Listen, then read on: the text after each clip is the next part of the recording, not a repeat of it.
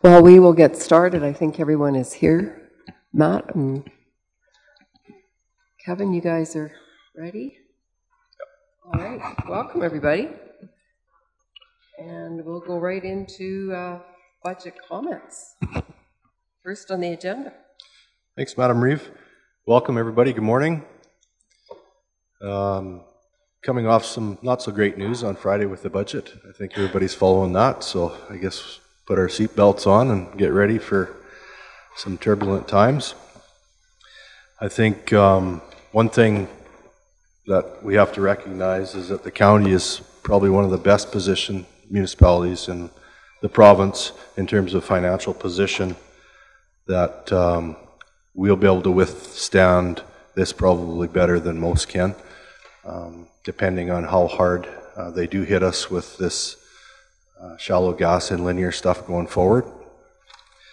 I'm going to outline a few things uh, for council and, and, the public, I guess, to compare us to other rural municipalities uh, of similar assessment. Um, and that's sort of how we benchmark, uh, is to look at how others do it so that we can see how we compare, and it's I guess it's similar to what Jason Kenney's trying to do. He's trying to compare Alberta to the rest of Canada, and he's not liking how it looks. Um, I'm kind of the opposite of that. I really like how he looks, so but I will share that. Um, I think one thing that since I've been with the county in in 07, we've we've climbed a steady set of stairs to get where we're at, and I really believe that the credit for most all of our success needs to go to our dedicated staff that have uh, bought in to implement um, the vision of council and uh, bring us to where we're at today. And some of the stuff that I'm going to share, I think, will will illustrate that.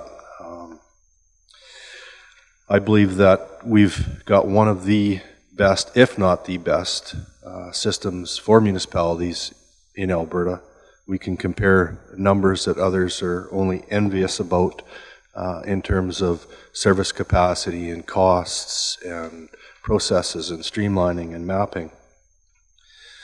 We get calls all the time um, from municipalities um, inquiring finance team, the admin team, the IT team about how we've done stuff, and everybody's more than willing to share with them our successes.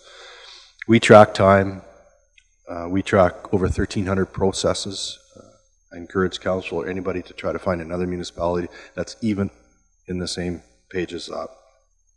Our Laserfiche is second to none in the municipal business. In fact, uh, we were in for an award at uh, the Laserfiche Conference a couple years ago that we lost to Parks Canada, and Parks Canada has about 14,000 employees, so we've got 67.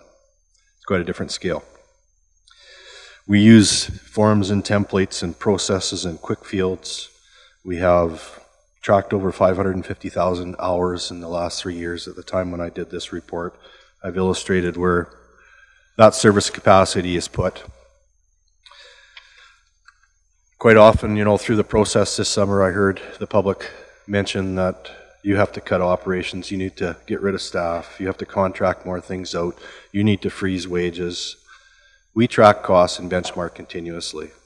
We monitor our programs, we look at suggestions, we always consider complaints, and we appreciate the accolades that come in.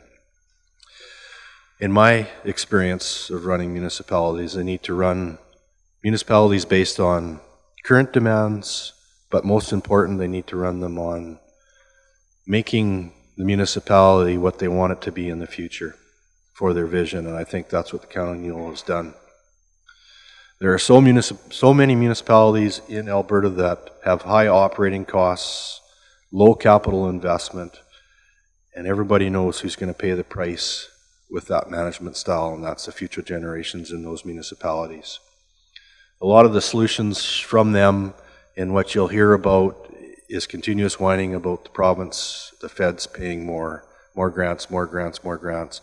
I don't think we're going to see that in any time in the future. So the province is downloading continuously. We see it in this budget again, where in their view, um, they're pushing it on to taxpayers of municipalities. They're taking it from those that pay corporate and personal income tax, down to those that pay property tax. And at the end of the day, there's only one taxpayer. But it certainly does affect the municipality, it affects the perception of the municipality. And I think we have to be clear where we are in terms of running our business. I quite often touch on the three big expenditures for the municipalities, or the big four, and I illustrated on the Schedule 1 from the financial statement um, where I get those numbers from. But it's salaries and benefits, contract services, materials, goods and supplies, and amortization. Those are really the big three and four. Transfers to organizations, other ones are soft costs normally that you have some control over. These ones, all municipalities, that's where they code their expenses for running their municipality, the core. And I think what you'll see from the numbers that I've provided is for the county Newell in 2017, and that's the last numbers on municipal affairs. Uh, they will get 2018 up probably in November sometime this year. Um, but ours totaled 16.2 million and 22.7 with amortization included. And you know, the interesting thing is we've saved over $51 million of our peer group municipalities since 2008. I pulled all the numbers out of the FIR, totaled them all up, and I took them back out because year by year successes, they look good, but compound successes are amazing. And no wonder that we've been able to invest in the things that we've been able to invest in and have the ratio between operations and capital that we've had. We know those times are changing. Our core group that we compare to is ourselves, the MD of Bonnyville, Cypress County, Mountain View County, Wheatland County, Brazeau County, Ponoka County, County of Wetaskiwin. They have the assessment bases right around ours. County of Newell has put in over 1,200 kilometers of water systems. Uh, no other rural municipality has that. I think the average is 48. It's quite a different scale. Those expenses are included in our expense numbers. The biggest expenses for municipalities are roads and bridges, obviously transportation networks.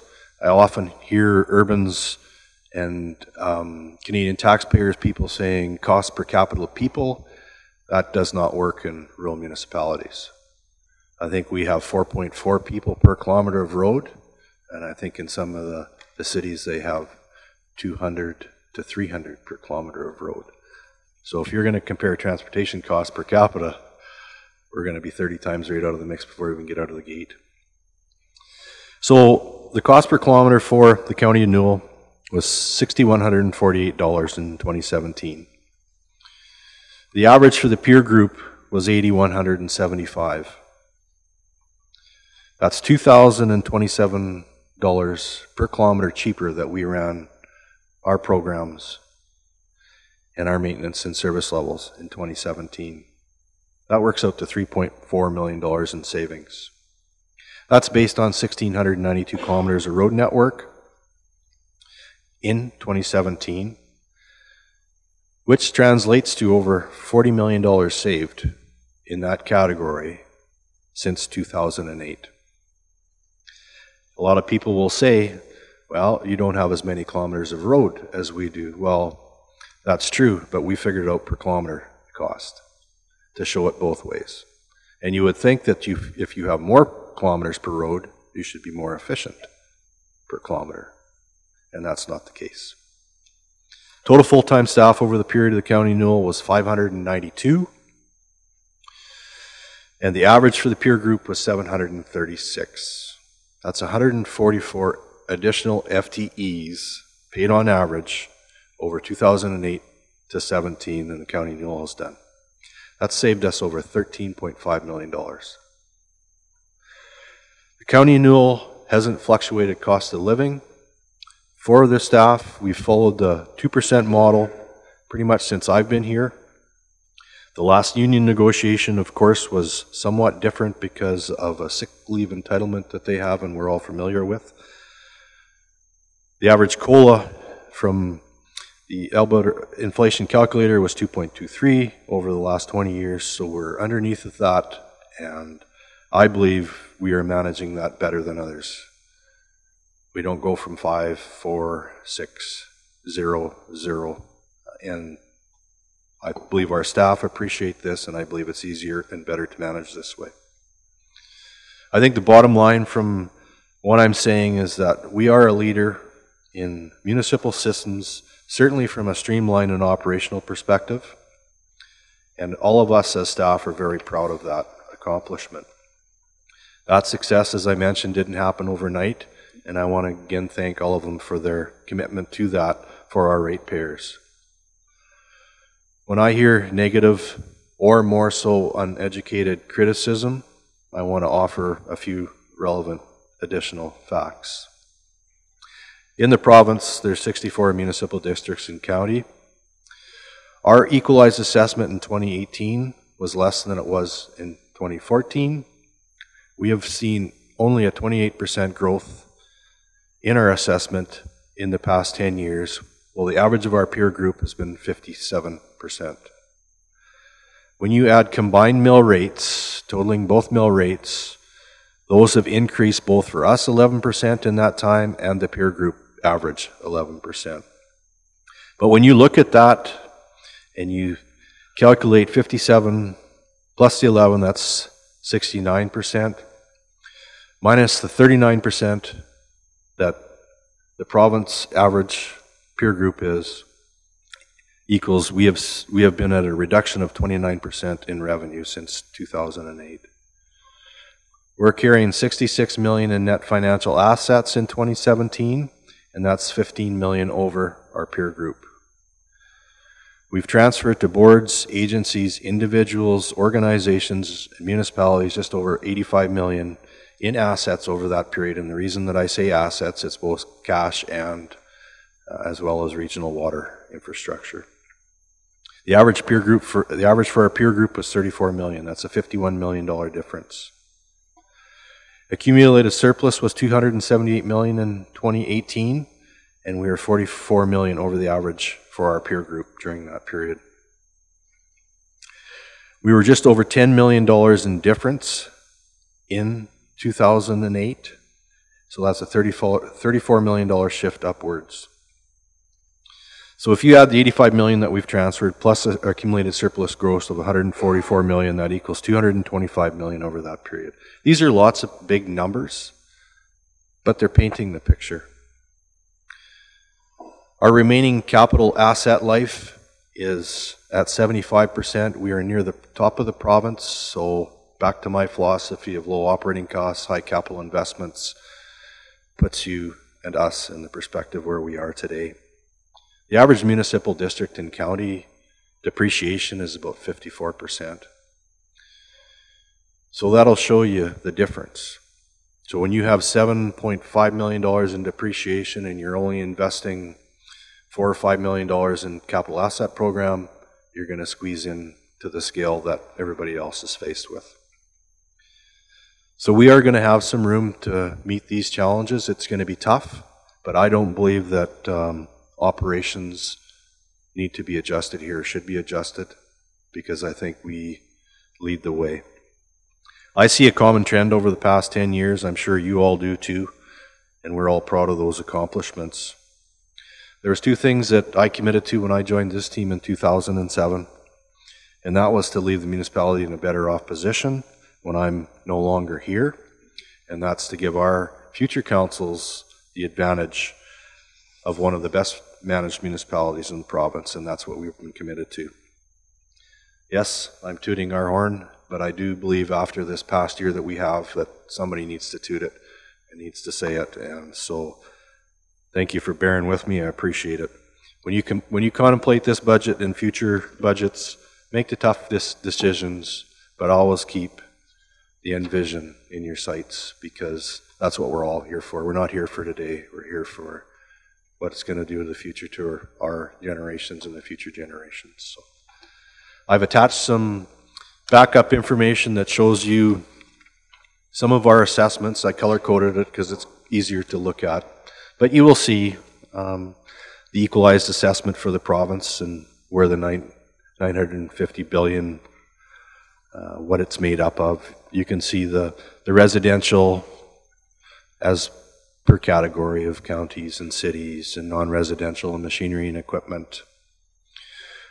You can see the equalized assessment by category in the province. Um, of course, farmland is 0.65%. We know that it's uh, one of the smallest numbers, if not the smallest. You can see that linear assessment uh, based on equalized, and then you can see the county of Newell on the right, and that shows you where our assessments are, and of course, Yellow is our biggest, which is linear, which we're all familiar with. That's going to be shaved down going forward. The interesting thing that you'll note with these graphs is that linear is only 8% of the assessment in the province. While it gets a lot of attention, it's big to us and it's big to those that have these costs associated with the activity that is in your region, but it's not big in the big provincial scheme of things. So I hope sometime that the province shifts its focus off of that 8% and starts to look at things more bigger and more important. The rest of the numbers I'm not going to go through. It's just back up to show um, those assessment numbers, factors with regards to our mill rates, um, net financial assets, all of that information.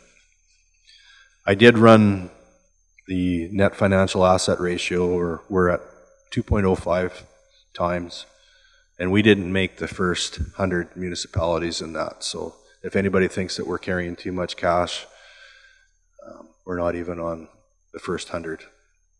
So I do believe that you do have to keep uh, reserves, and uh, I do believe that my number, personal number, is two two times. So I would encourage you not to to dip into that too much um, because there may be a day when that is going to be required.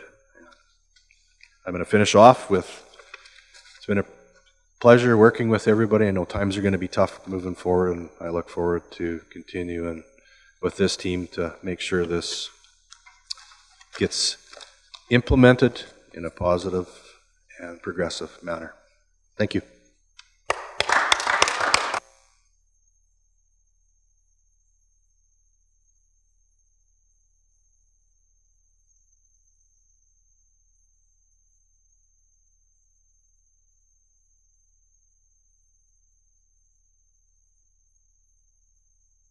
Glad you had, were ready to throw him back down into his chair, uh, County.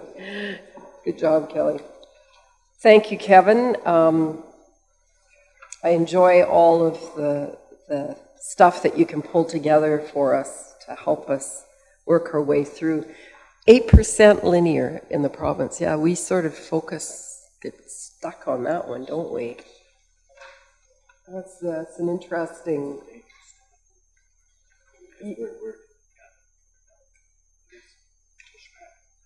yeah, yeah, the province is wise to hit there because there is count won't be a lot of pushback. Just the few municipalities that are, yeah, as we know, the 15 that took the hit already. So, set in that sort of introduction, we'll continue along and. Uh, move on to Matt's budget summary and his presentation. I can't compete with uh, Kevin. he had sent me an early draft of that, and uh, it was nice to uh, it was nice to uh, read. Um, it's really nice to reflect back. I think ten years for for the county uh, it's incredible what the county has accomplished in a relatively short period of time. When I was applying for uh, the manager of finance job here, I got on your website, which was in black and uh, neon green tones, if you remember that website. I couldn't find a lot of information about people. Stephanie was on there, Susan Shigehiro was on there. Uh, not a lot of information. Uh, when I came to the county, the systems that we had had available were really onerous to try and do anything with.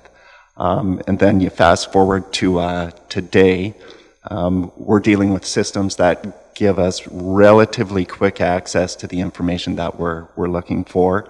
Uh, you received the budget package on October 18th. If you remember my first budget with those of you who were here, uh, you received the budget package the day you walked into the, uh, the council chambers. It's a little embarrassing to uh, reflect back on. Uh, I think we're in a position now where we can make rational decisions. Uh, we've got the time to consider things. We've now got a view with the new budget software that council invested in that we're looking, today we're looking 10 years down, but I've got 20 years of capital modeled. Uh, I feel pretty comfortable with the numbers that are, are in here, that we've captured the big items that are going to impact us going forward. Um, so today we're, we're going to be looking at uh, specifically the 2020 budget, but it's never just a year in isolation. We want to take the long view, and I think we've got that information in front of uh, council today. So I'll jump onto uh, the soapbox and give a, a high level overview. I do want to say, uh, maybe just for the benefit of everybody who's here, where we're kind of at in the process. It seems like budget never ends, right? We're either we're in some kind of budget cycle of one kind of another. We got together August 1st, council, senior management meeting open to the public, and we tried to determine what uh, the priorities would be moving into 2020, any service level changes that we needed to consider and uh, incorporate into the first draft. After that, everybody starts scrambling, getting information together, building the budget package. They get that to me by the end of September. I scramble for a couple of weeks to uh, make sure that we funded everything, that uh, things uh, make sense. Uh, you get the package October 18th, chew on it for a few days, and now we're here in another meeting that's open to the public. Uh, everything in front of us is draft. Nothing has been set in stone yet, so we're going to kick this thing around and see if uh, what we've proposed is, is reasonable between now and December 5th, we'll incorporate any kind of changes that we, we settle on today. And hopefully December 5th, we'll, we'll approve that interim budget for the 2020 year. And then we circle back around in April once we know what the province does to our assessment year modifiers for linear is the biggest wild card for me that I've really tried to, you know, really struggled figuring out where, where's our assessment going because that's going to impact a lot of what we decide to do with our, our mill rates.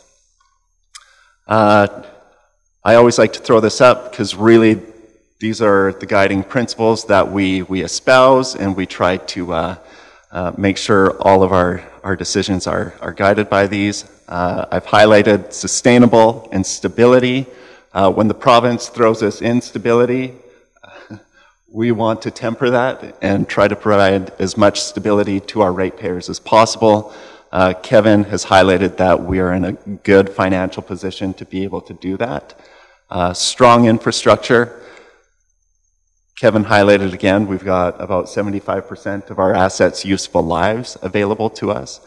We've got excellent roads. I, when I was looking at our long-term financial plan and the, the assets that we need to replace, I, there's nothing that is visible to me that says, well, because of what the province did on Friday, we have to shelve projects. All the other headlines, Medicine Hat, Calgary, Edmonton, oh, we got to have emergency meetings and decide what we're going to postpone. Uh, the county's in position to continue financing their capital and their operating. Uh, we might take a hit on what our long-term savings plan looks like, uh, but there are no projects on the books today that we have to say, well, pump the brakes, we need to totally regroup. Uh, I think that speaks volumes to how the county has taken a, there was a line in the uh, Minister of Finance budget speech about the province taking control of their financial future. The county's already done that. Uh, so let's look at the, uh, the budget overview. I'm pretty pleased with the budget that we have in front of you. I think it's extremely conservative.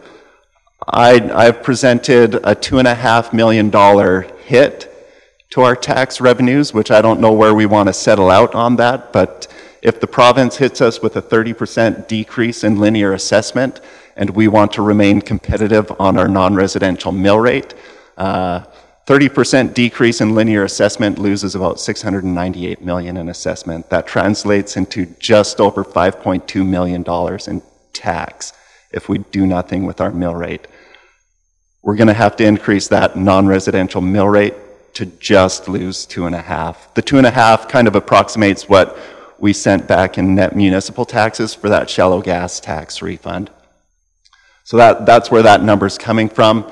I don't know if we want to stay there or say, nope, we're, we're going to take the same dollar amount from non-residential uh, next year, but as it's modeled, you can take a $2.5 million hit. We can recover that with a 2% increase over the next five years. Uh, the cost of that would be, uh, I think, just over $7.5 million that you, you give up in tax revenue over that five years if you pursue this, uh, this strategy, but it does recognize some of the direction coming from the province, uh, looking for some relief for their, their taxpayers. And it does recognize the difficulty of our shallow gas producers, which have been very good to the county. Uh, I'll, I'll, point out we budget pretty low for our well drilling tax each year because it's something that's out of our control. You know, it's typically between 100, 150,000 dollars. So I looked back to uh, 2011 2011 to 2019, we had budgeted 995,000 for revenue coming from well drilling. We've received 3.8 million from well drilling tax. So uh, there might be some arguments in favor of providing some relief to your, uh, your shallow gas guys. On, on the expense side, uh, you don't see it here, but in the, the executive summary where it provides a little more detail, uh, we're presenting a budget which has the lowest FTEs budgeted in the last five years. So we, because of some of the system changes that you've put into place, uh, finance and municipal services have been collaborating the last two years. Our payroll and finance support clerk has been providing support to that department where typically they would hire a seasonal position we're comfortable enough now, two years in, that we get along well enough that you could probably remove that seasonal position. We don't need to plan on that. We can bank on uh, the continued collaboration. Uh, last year, you also had FTEs for uh, retirements. Those have been pulled out. That was an, an FTE. Uh, so salaries are down net of the 2% COLA. Um, three categories there. Salaries down 98,000. We're going to get that down a little bit further. Uh, we're also going to remove a project admin assistant, which was 0.77 FTE. So that'll knock it uh, further savings, about 61,000 on top of that 98. Uh, 88,000 less for contracted and general services and uh, over half a million in your materials, goods, supplies. That one's maybe a little overstated because we uh, had the AFRAX last year for 330 some odd thousand, so that one maybe looks a little bit better than, uh, than it otherwise would for status quo. But uh, we're coming uh, with a budget that is conservative, but it also continues to get the capital projects invested in that are, are important to the community. Uh, Kevin's talked about assessment, so I, am not going to uh, review that. Uh, I've included a, a, summary of where we fall for tax rate competitiveness. It's the same slide that we saw at the budget planning meeting. Uh, the take-home message here is we've got room to move on farmland rates and remain competitive. Non-residential rates could go up and you'd remain competitive. Uh, residential, you're in the middle of the pack. There's others who are more competitive than us uh, residential wise, but you do have room to uh, to move on on that if you you needed to. Revenues, really, we're property taxes is our our bread and butter, right? We we have been moving on on user fees the last number of years. We typically go up for our utilities. Uh, we've got just under a 5% increase in utility rates proposed looking at increasing the rate for the minibus ride. Uh, we've also incorporated the direction from budget planning to increase the cost recovery rate on dust abatement for residential from 50% to uh, 65%. So we, we are trying to tie some of those price signals into the services that we, uh, we provide so people can vote with their dollars what they, what they value. Uh, but really, property taxes is our, our big revenue source, and when the province in a single year uh, rumors 30% decreases in our largest assessment category, that, uh, that does cause us some concern. Uh, expenses, salaries, wages, benefits, 30%. Contracted services, 17. Materials, goods, supplies, 18. Transfers. I think the county really should be proud of what it has accomplished with its, its partners. We, we have shared a lot. Um, we had the regional enhancement and cooperation agreement for a number of years, which transferred a lot, a lot of dollars. I really think the region, in working together, has positioned the region well for uh, dealing with these turbulent financial times. Uh, staffing summary. So I've kind of already talked about this a little bit. Just see if there's any other details I wanted to throw at you here. Yeah, overall decrease, here it's showing 2.83. We're, we're actually going to get that up another 0.77.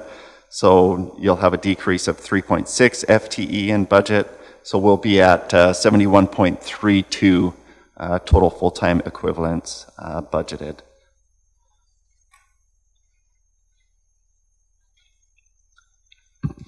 Tangible capital assets. We, we spend a lot of money on, on capital.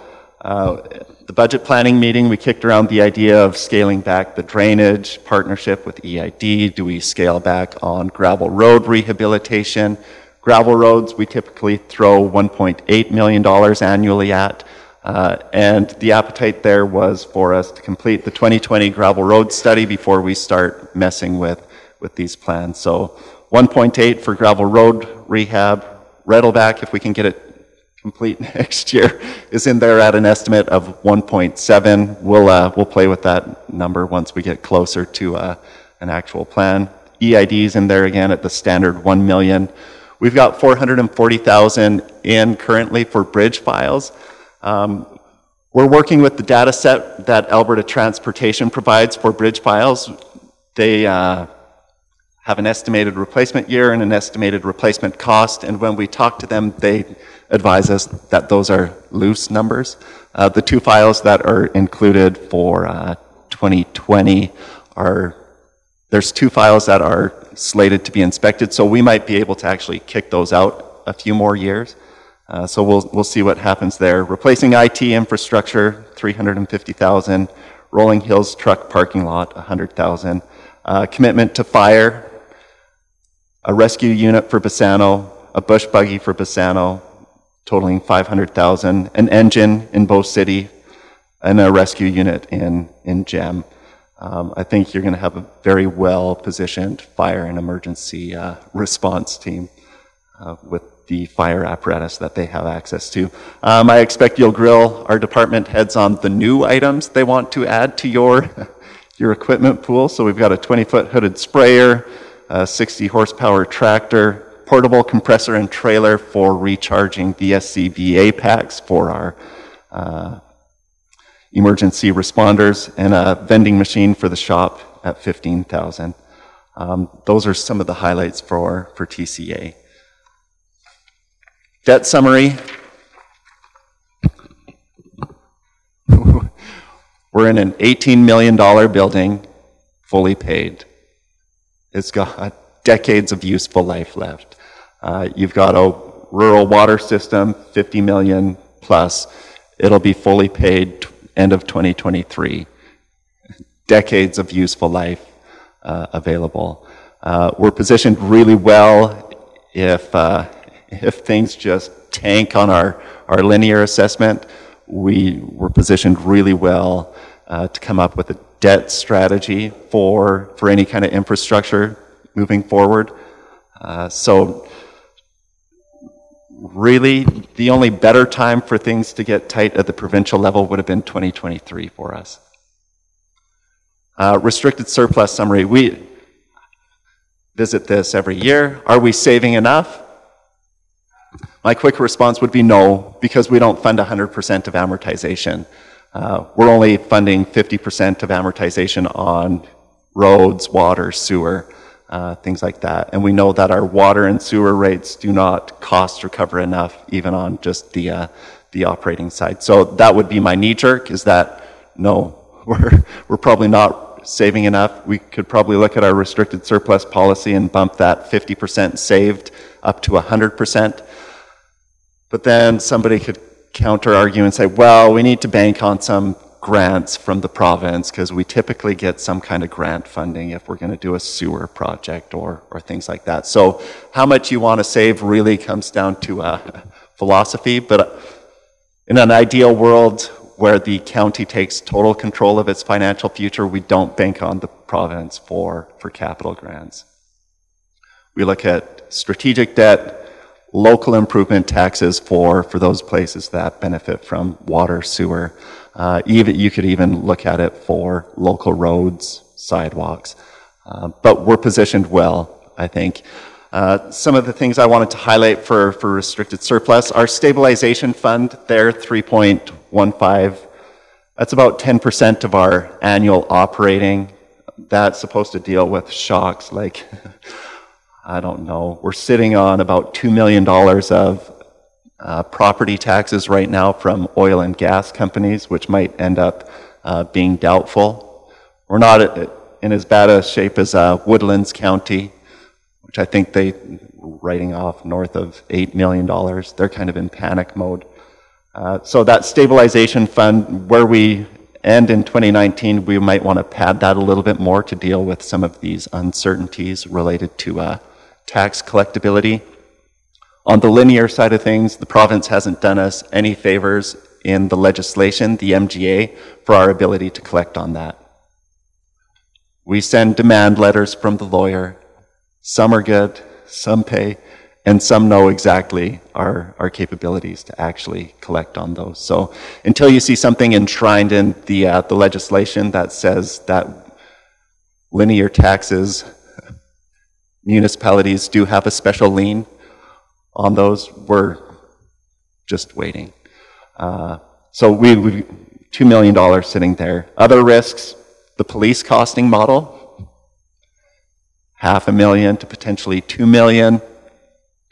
See where that one shakes out. ICFs with our partners. We've got Bassano figured out. I think we're pretty close on Duchess, but we still have Brooks and uh, Rosemary to figure out. So where where are those numbers gonna gonna go?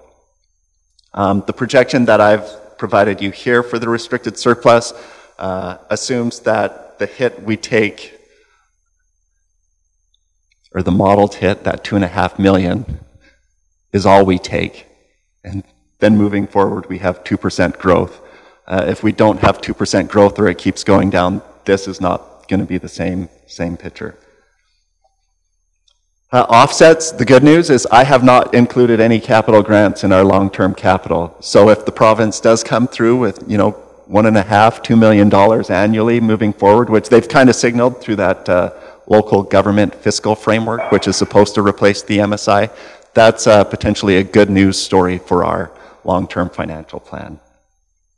Uh, other things that may be good for us, our pavements lasting longer than we, we had modeled. One Tree Road, uh, would have been overlaid in 2019 based on a 20-year useful life. We're going into 2020 where we're going to do the study, uh, have the engineers run that road to see what the best uh, approach is. So if we can get some more useful life out of our, our roads and that's consistently happening, we'll, we'll start uh, including that into our model. All right, so just a, a recap. Really, in most of the areas of operations, it's status quo. Uh, ratepayers are going to receive the same level of service that they're accustomed to. Uh, with the caveat, uh, planned service level decreases in non-residential dust abatement, which we talked about during the budget planning, removing 15 and a half kilometers from that, and alternate painting of shoulder lines on paved roads to every other year. So a few uh, decreases. Cost of living is in there at 2%. Uh, municipal tax revenue decreases, nets out at 2.46, so you're going to lose two and a half from non-res, get another 105 from farmland, and we're flat on residential. Utility, rates increasing, four and a half to 4.9 percent. Uh, dust abatement cost recovery 50 to 65 percent, and minibus rider fee increases by 250 per trip. Uh, forecast years, like I said, in, include a 2% tax revenue growth, except for farmland, which we're talking about getting that farmland rate equivalent to your, your non-res rate by about 2023. Uh, department heads where they know they've got one-time items coming up, we've included that into the, uh, the operating forecast. So one-time things would be like the cost of an election, uh, council retreat, management retreat prior to an election, uh, items like that. Uh, MSI operating, we're expecting to end in 2021. We typically have thrown that operating grant at uh, corporate safety, bylaw, and solid waste. Isn't a huge component of, of what we do, but it, it is uh, just over $100,000. But that has been removed from our, our forecast moving forward. Uh, it was nice that the province reduced red tape and made it less onerous for us. We, we didn't have to submit uh, a plan of what we were going to do with that operating. We're only going to have to report. So uh, that's nice. And I am excited to see what the province does for, for reducing red tape because it seems like on the big dollar grants or our $3 million a year MSI, we don't have to do very much. But if we want $20,000 of disaster recovery assistance, uh, we submit 100% of the invoices and we receive a visit from three, three grant coordinators from Edmonton. So that, that will be a, a welcome uh, change from the province. Paving overlays are in based on a 20-year schedule and 200,000 per kilometer, paving plan based on 600,000 per kilometer, and bridge files based on the best information we can get from Alberta Transportation. Um, overall, it, it's really a I think it's really a privilege to be the uh, the finance manager at the uh, the county of Newell. There's other municipalities I would not care to be the finance manager at right now. I'm sure I'd have a lot more sleepless nights.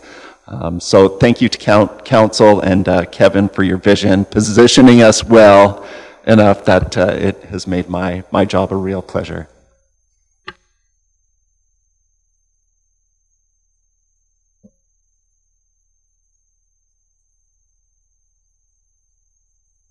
Thanks, Matt. Anybody have any questions of Matt? Clarence?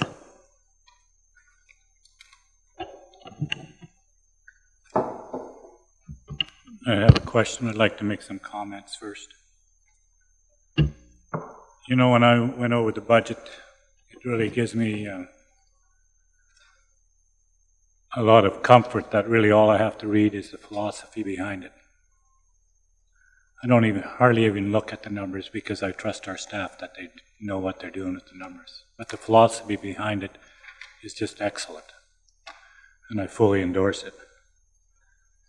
The one thing I'd, I'd like to, I was really glad that we kept the drainage project, project on stream because I don't think we have a number that really emphasizes the fact that one of our largest expenses, which we know are roads, but how much we rely on the Eastern Irrigation District to have a good system which keeps water out of the ditches.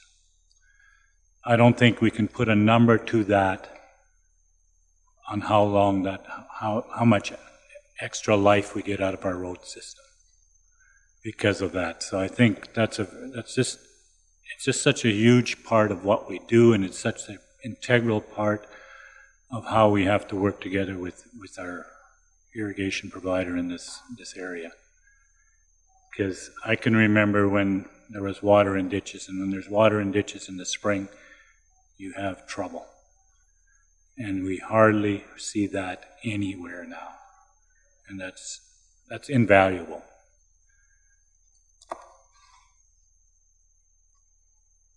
The other thing, I mean, we talk about 50% on the roads and that it's only funded to the 50% level. I think that's probably good because I'm not sure we, I'm pretty convinced that we amortize it too quickly. I think the life of our roads are, high- are more than what we are saying, and that, of course, puts that out of balance. And that, so I, I feel very comfortable with the 50%. I agree that we should be putting that stabilization fund, bumping it a little bit because the times are too uncertain. And Kevin pointed out the 8% on linear that the province gains. I think that's a, that's a, that's very, very dangerous for us because if the province is looking at where the least public impact will be, it's at 8%. I don't think we should forget that. We Can't really plan for it. The one question I have, Matt, is we paid out 3.4 and I, and I, I think it's in your, in your net numbers of 2.5, which we, which we uh, said would be less next year. I'm wondering why maybe that's a little conservative, or maybe you can just explain it a little better to me because I don't quite understand that difference. Yeah, that's a good question. If you look at the, uh, the story in the bulletin, it says we refunded 3.4 million to our shallow gas. That's correct. We sent them three, 3.4 million dollars back. Of that, uh, 2.5, 2.4 was our share, net municipal taxes. The other bit was your, your school foundation and Newell Foundation portions.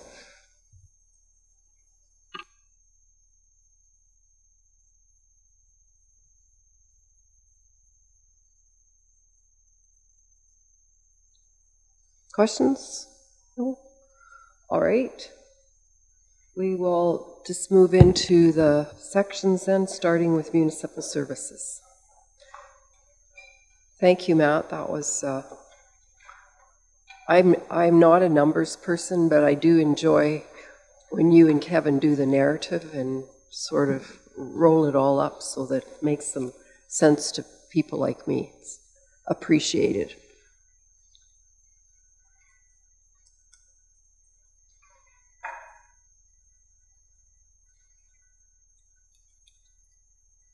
So we're going to go through this sort of by category, I take it, like on the agenda. So bylaw enforcement would be the first item, 3-1.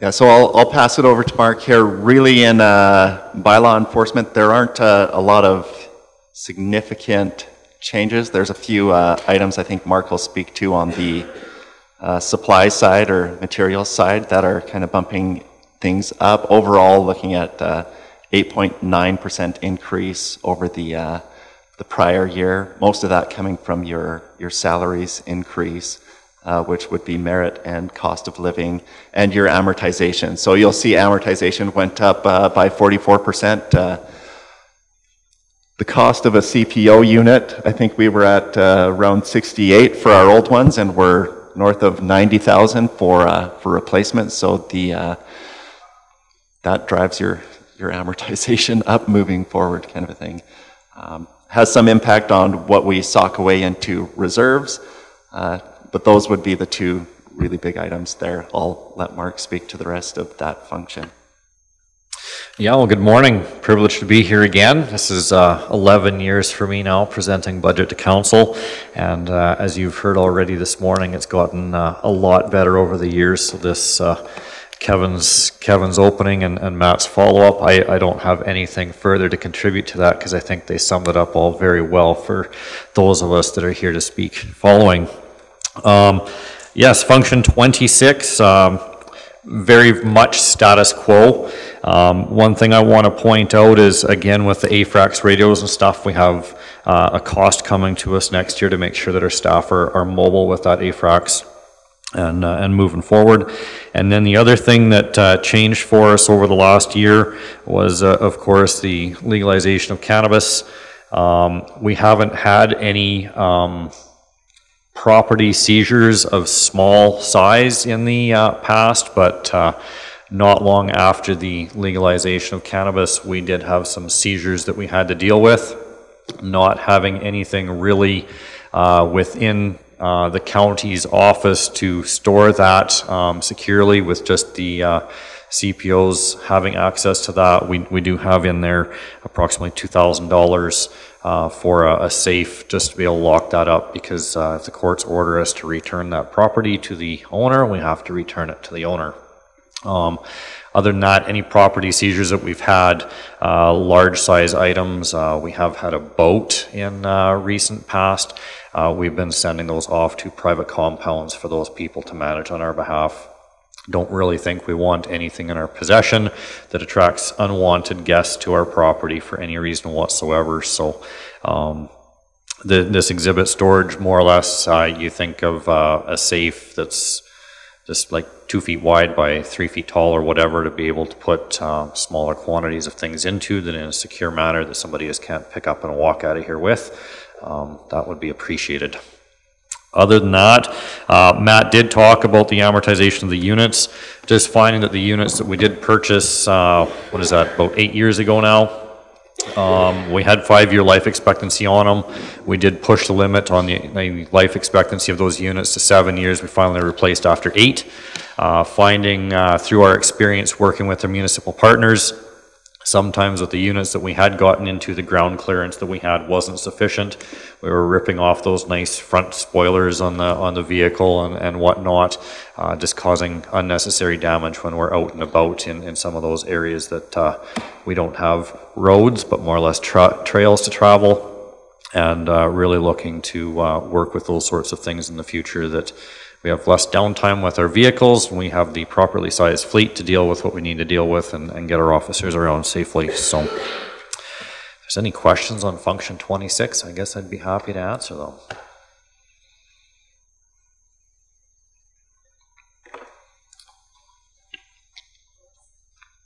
Don't see any, so Well, we'll that's great. go on to 31. That was a great start to the morning. Thank you. fleet services. Function 31, Fleet Services. Uh, Again, some legislated things that have come our way. Um, The disposal of slurry, so the mixing of water and soils, uh, whether they're contaminated soils or not, knowing whether they are contaminated soils or not.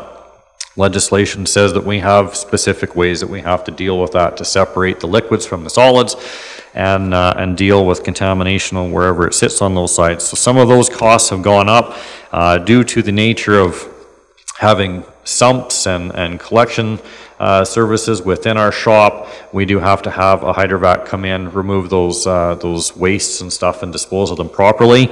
And that's coming at a, a fair increase compared to what we've experienced in the past.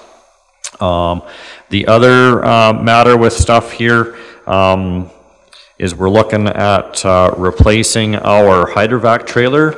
It was a, it's, it's a mini vac and it was more or less purchased for the sole purpose of hydrovacing uh, small holes for sign replacements and stuff. Um, not really sure that when we bought it, not even sure what the unit number is on that, but back in back before I started anyway, uh, so 2008 or, or, or prior, uh, I, I don't think it was really a properly sized unit to deal with what we needed to deal with. It didn't leave the yard as frequently as it needed to, and uh, we're just looking at getting something more adequately sized so we can take some of this work upon ourselves rather than paying contracted service to do some of it. So that replacement is slated in here. And uh, of course, a vending machine. Um, the last three years, we've had uh, Valen had supplied us with a vending machine for high turnover, um, non uh, inventory items. So your gloves, your electrical tape, spray paints, things like that. Just something that staff weren't generically picking out of a box and seeing things that grew legs. We actually had to use the same key cards that you use to access the building to tap into that vending machine.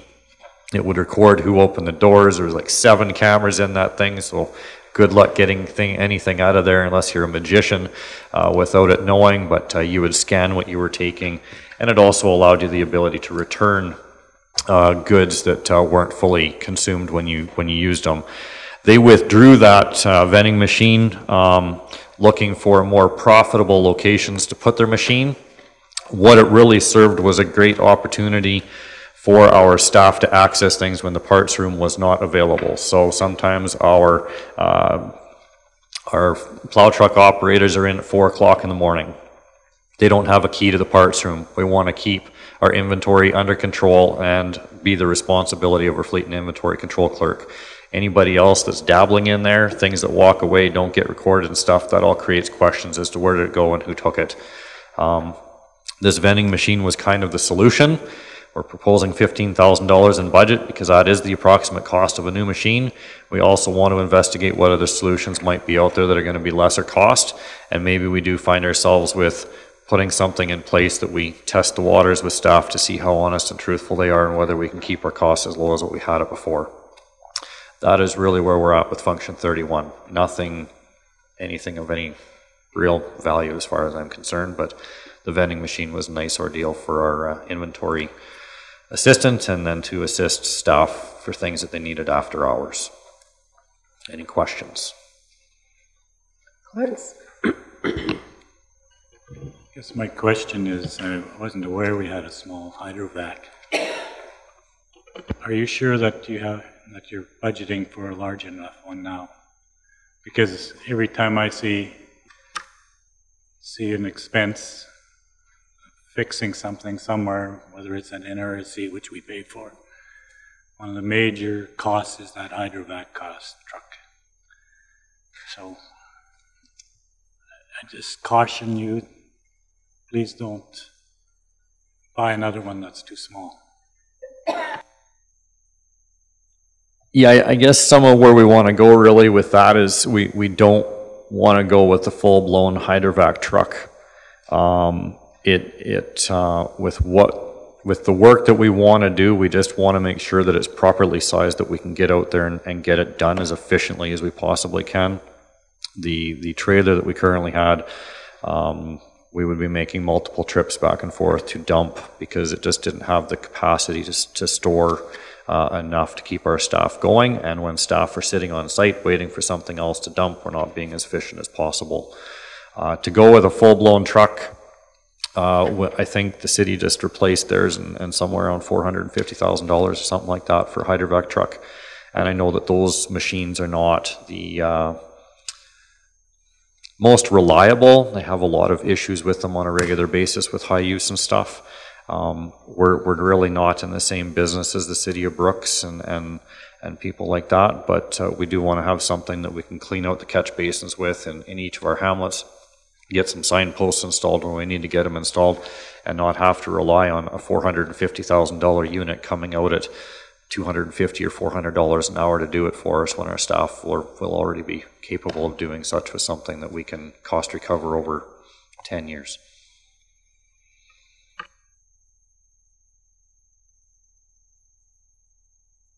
Wayne?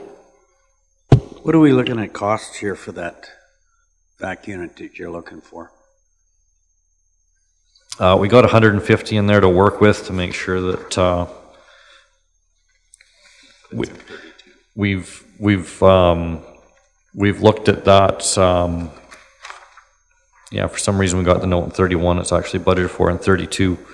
Um, hopefully, under uh, tender tendering practice and stuff like that, we would see it come in underneath of that. But we have looked at a model that we find satisfactory. We just got to find out who else has uh, the uh, similar kind of units, what kind of prices they come out in out with a tender.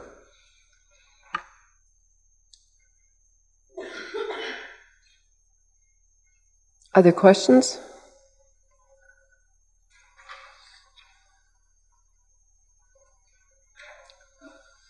Carry on. Moving forward, 32. Again, pretty well status quo with, uh, with most everything here. Um, you know, we talked previously about the, the larger things here. Matt already summarized uh, the seasonal assistant. Um, relationship with finance has been great. Uh, we are looking at moving forward with implementing the uh, tablets here to, to make staff um, single point of entry with their timesheets and such, what they haven't been able to do. Which will uh, alleviate a lot more time on that financial position that's been assisting us and uh, repurposing that position to do other tasks as well and provide further assistance or, or other work throughout the organization is what we're looking at.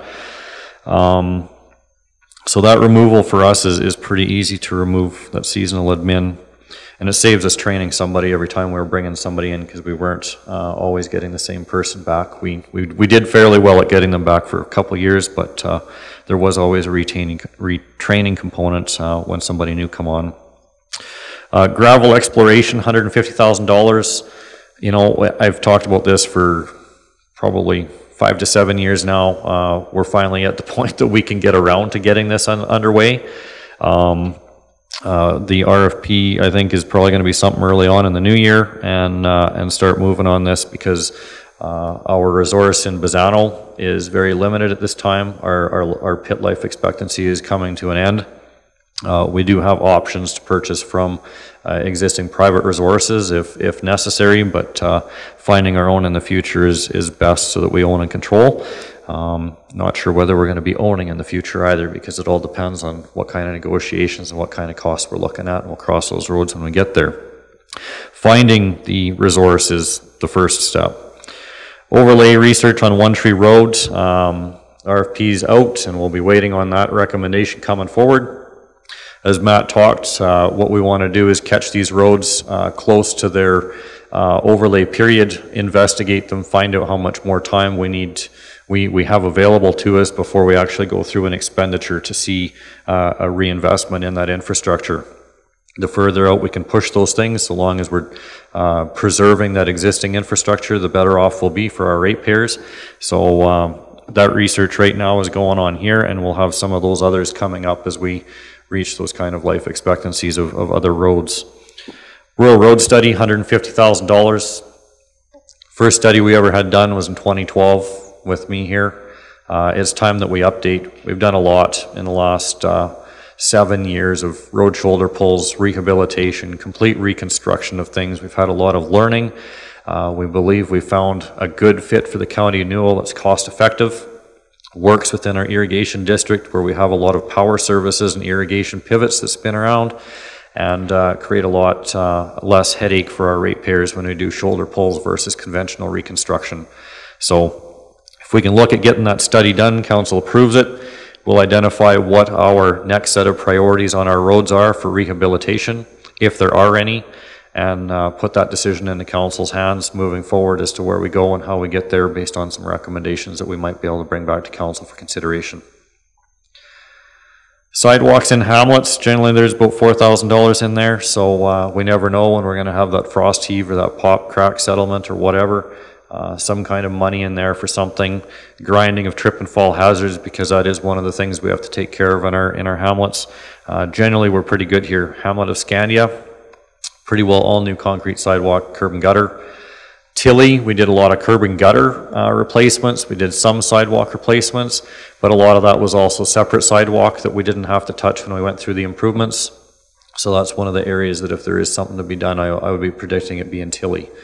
Um, really, anywhere else, we don't have any sidewalks. We don't have any in Patricia, Lake Newell Resort, or Rolling Hills. So uh, people use the roadways as they need to for uh, their foot and, and bicycle transportation. Grader site environmental assessments. Uh, as you know, we have had grader sites located on private property in the past. We are slowly relocating all of those to be on county property. We just want to make sure that when we leave a site, we're leaving it in as good a condition or better than when we uh, situated ourselves there. So uh, site assessments for Division 4 budgeted this year, and as uh, we go through the plan, we'll be slowly re relocating the rest, and those will uh, continue to be there. Gravel crush in, Bassano and Ballast, uh, $3.1 million. Uh, Matt came to me with a suggestion on how we look at these gravel crushes because when they do come up, it's a fairly significant number that comes across the budget, so we're looking at standardizing those kind of costs across the number of years until we get to the next crush to uh, level that trend rather than having those peaks and valleys in, in our expenditures for you and, uh, and therefore making it easier for uh, revenues to uh, offset. Rolling Hills truck parking lot. We were at $30,000. Uh, we're looking at $100,000. This is just a gravel site. This is to accommodate the uh, turning movements of trucks on the site to get themselves situated, to get themselves back out. Something significant enough that with the grout, with the uh, heavy truck traffic in there, because they may be loaded, they may be unloaded, uh, that we don't have a lot of uh, heaving and soft spots show up that we're continually maintaining. If we're going to build it, we want to build it right and we want to do it the first time. Uh, if we want to build on top of that to provide lighting and security, fen- secure fencing and stuff like that in the future, those would be additional costs. But right now, we are talking a gravel pad with uh, two access points. Two access points have been uh, considered and I believe approved by Alberta Transportation. Uh, so what we're proposing within this budget is the additional funding of another $70,000 to make it happen. So I will leave that one in your consideration for approval. Bridge files, Matt already talked about. Uh, Also budgeted in here is the 15th Avenue and Highway 873 signalization. Um, Those have already been discussed with our partners and whatnot on those. The EID partnership is status quo at $1 million each. Shoulder pulls, Matt already summarized, $1.8 million. Uh, We are in the final year. If we update the study, then uh, we'll be identifying potentially other uh, roads for rehabilitation if we need to go down that route, and uh, really be looking at where we sit with the uh, current service level on roads, and be talking about what council's expectation is on those service levels, and how we want to maintain them in the future moving forwards to, based on what kind of dollars you want to throw at it, so. Um, Paving plan, this is the time of year that everybody gets to see the paving plan one more time. If there's anything further that needs to be discussed about the paving plan, um, I guess this is, uh, where we want it to be unless council advises otherwise to, uh, bring the paving plan to a future council meeting where we can discuss it in greater detail. We can look at that. But, uh, with that, the uh, overlays funded, uh, are being funded from the paving reserve until the infrastructure fund is replenished based on the borrowing for the partnership that we got into with, with the province. And uh, new pavement, uh, right now, your next project is 2026, which is Old Highway 1A from Highway uh, 875 east to Tilley. So uh, we, do, we don't have anything on the books for paving. And um, yeah, really, here we are. This is what it looks like. It's pretty status quo for us. We've got some things that we need to get after though, and and I think with having uh, the accomplishments that we've had over the last 10 years, we have the ability to move on some of these other things now that are, that are top priority for us. So if there's any questions with 32, Tracy, um, what is the expected maintenance, um, and expense on this parking lot in Rolling Hills? Like, so we invest hundred thousand and we get it built. Ongoing, what's gonna be the expense of it? Or we're gonna send the grader out there and level it and keep adding gravel? Like, what does that long-term look like? From, from my observation, the long-term really wouldn't be a whole lot different than what we see in our operations yard here. Maybe one to two times a year with a grader on it to, uh, to grade it flat if necessary. That's about it. To uh, preserve our aggregate, we've included costs in there to lay, to lay geotextile fabric to ensure that the clay remains separated from the aggregate. And uh, Really, the only thing that can affect that is if there's a bunch of muddied trucks that come in and deposit a lot of clay and stuff like that, that uh, gets worked into it to create an issue, but generally, we would be looking at removing that uh, from the site ourselves. Nothing significant. Yeah, I guess I just questioned, so c- I'm drawing a little bit of a blank about when we talked about this, but the purpose of having this is so that truckers aren't parking their vehicles on the streets. Is that correct? We're, we, we do have our hamlets um, signed that no trucks, trucks that, trucks that are doing, um, people that are moving from their homes have every right to be there because they have a scheduled delivery. Um, if there was a commercial business where a truck was dropping off um, goods and, and, and whatnot, those would be permitted. Any, anything otherwise, our, our hamlet roads are not designed to withstand, withstand the weight of those trucks.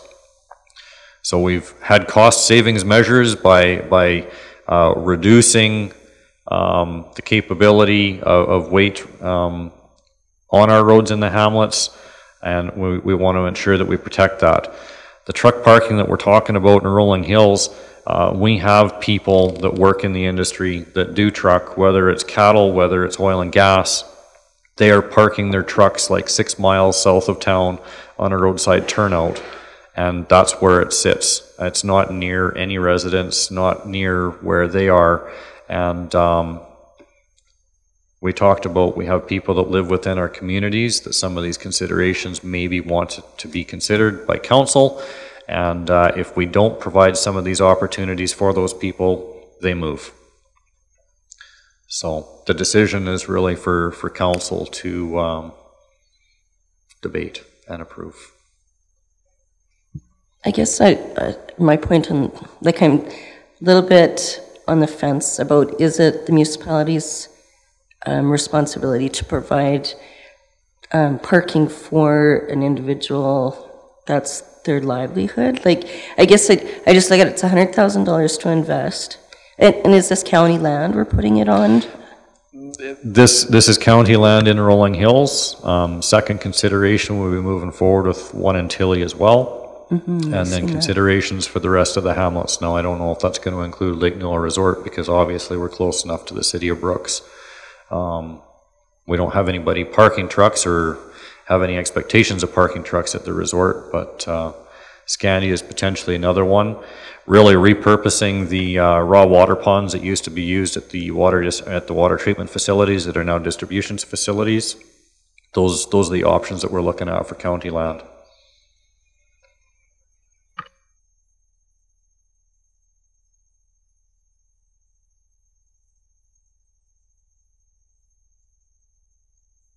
So my question um, in talking about this parking area is dust control.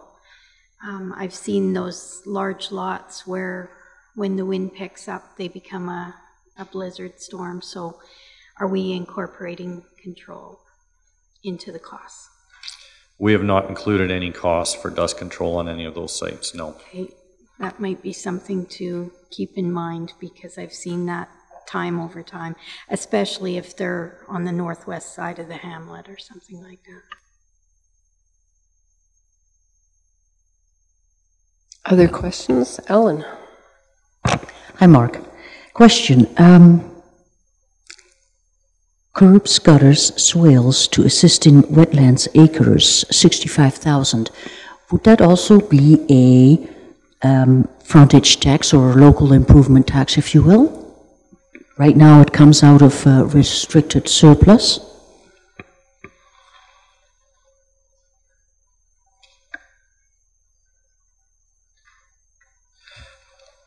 Can you repeat that one for me, please? Sure, it is the um, What page, Ellen? uh, page 12 of 146 of the uh, capital projects, and it's the Westland Acres curb, gutter, and swales, and it's $65,000 budgeted, and I'm just wondering if this would fall under a local improvement tax.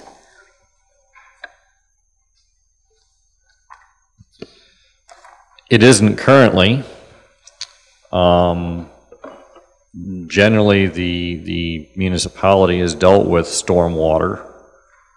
So if that is a consideration of council, then we would have to go through likely open house process with the public to make that happen. I can tell you that the way that the county approved the development to be constructed originally, that swales and stuff should have been part of the plan because a gravel swale has not been successful for us in the past. We have standing water, we have frost boils and everything else. We've been in there numerous years in a row, which is why we actually had this in the 2019 budget. So it's a carry forward item for 2020 because we didn't get to it.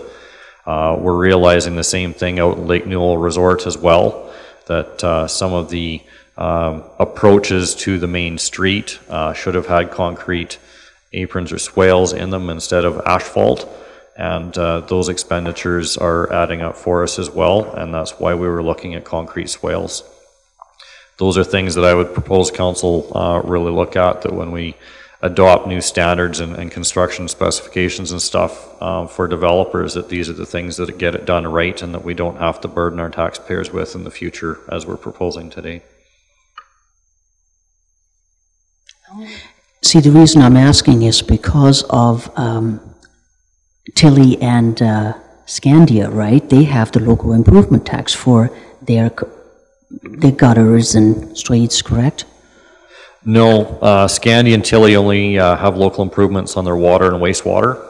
The county took care of the roads.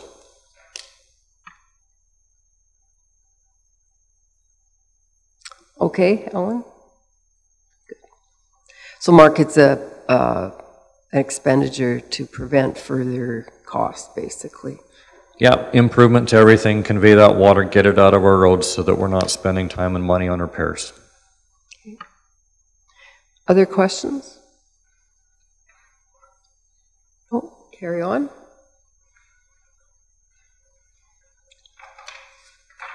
Function 33, uh, as council should be aware, this is a 50-50 partnership with the city of Brooks, where the city of Brooks takes the lead on the airport. Um, We just contribute. I don't think I have anything much more to say about this. Uh, I do wish that um, we had some kind of metrics or, or something to measure the airport by. Uh, I, I haven't had anything produced to me from the city of Brooks to find out how many uh, takeoffs or landings or what size of uh, um, airplanes, helicopters, and stuff are using it. Uh, they are managing the fuel system, which is uh, full cost recovery. Um, I don't really have anything to feed council other than these is the predicted uh, cost for the airport, and we're in it for 50-50. So I guess if there's any questions around that, uh, I will probably take your question and get some answers and have to get back to you, but uh, it looks pretty status quo with the airport.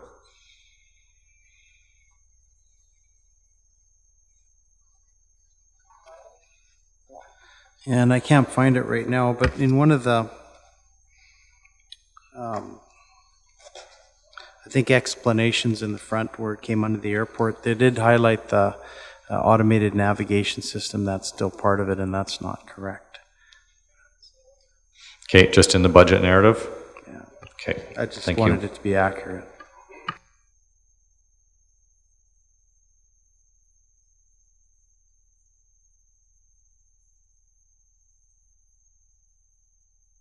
Other questions regarding the airport?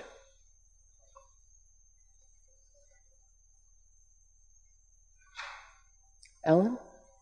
Just out of curiosity, do pilots that fly in and out, do they pay a certain rent or what have you, or landing? uh, No, there's, there's no fees for use of the, of the municipal airport.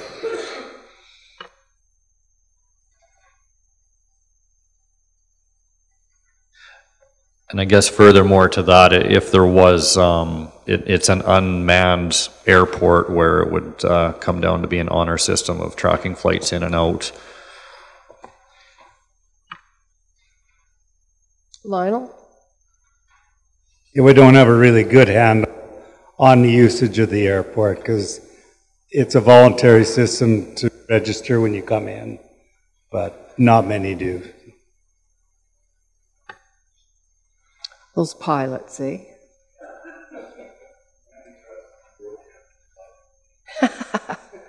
They can't afford it anymore after they buy their airplanes. I think I think the biggest movements, just if you're curious, is it would be the aerial applicators, and that's extensively from June till the end of September, and I don't know, it'd be in the thousands for them. Other than that, recreational wise, I think there was a study done years ago when they were looking at upgrades and sort of a five year plan. And um, just based on the limited information that they were, I think recreation wise, they're looking at under 100 a week and uh, uh, 50 or so medevacs, and then the rest are egg services. Other airport questions? No? All right, carry on to water. Well, function 41, I'll uh, speak to most of the operations side of things. I don't know when Matt wants to talk water rates and stuff, but we do kind of partner on this GL here. Um, Again, as usual, we, we have the contracted service of NRSC uh, performing our operating uh, day-to-day operations of checking plants, quality of water, uh, metering of the uh, rural water system, sending us the invoices on those sorts of things. So thi- this is all very status quo um, for everything in function 41, and uh, I would even divulge the same for for function 42. Uh, We don't have any anticipated uh, costs really coming out of this um, of any significance. We, we have carry forward items uh, that we do still want to get in, just ran out of time to be able to do anything but waterline locating in Patricia and Rainier so that we get accurate um, as-built records of where these pipelines are and what they uh, consist of for pipe type and size. Um, We have carry forward item that uh, NRSC will be moving forward with the replacing of uh, the computers in Rolling Hills, Patricia, and Rainier. Uh, They work with MP Engineering on the specifications of those computers for the SCADA system so that those numbers are, numbers and alarms and things are reported directly back to them and their operators after hours. Uh, Rolling Hills, uh, installed drainage in the pump house, so since we decommissioned the raw water pond and stuff, they do have some, uh, some water that they have to discharge out of that building from time to time due to some of their processes and procedures, so we'll be looking at a solution for that, but that too is a uh, carry forward item that didn't get dealt with this year. And then uh, the other thing was that we didn't get the sampling stations in Hamlets installed as uh, we had originally hoped to have done this year. Uh, And our NRC will be taking a lead on making sure that they get those sited where they need them, uh, collaborating with us um, to get them installed because it'll be tying into infrastructure in our roads and stuff like that. So um, carry forward items and, and nothing really new out of uh, function 41. Um, did you want to talk water rates now, or you want to do that later? Pretty sure we're settled on water rates. So that's what I got for 41. Questions, Kevin? Madam Remark, I think one thing that we should follow up on is a request from Councillor Amelung to look at the hydrovac costs that we've paid out, the hours at the service capacity that they've done maybe over the last couple, three years, uh, just so that we can do a uh, analysis of the little unit versus the big unit in a little more detail. I know the system has our, we use typically three or four of the hydrovac companies, so it shouldn't be uh, too difficult. Anne-Marie? And just an additional thought about that hydrovac, you mentioned that Brooks has a big one, so would it maybe be um, helpful to check what kind of unit they have, how, how often they use it, and if there could be a partnership?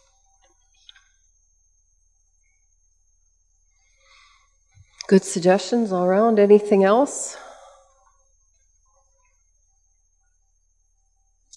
Okay.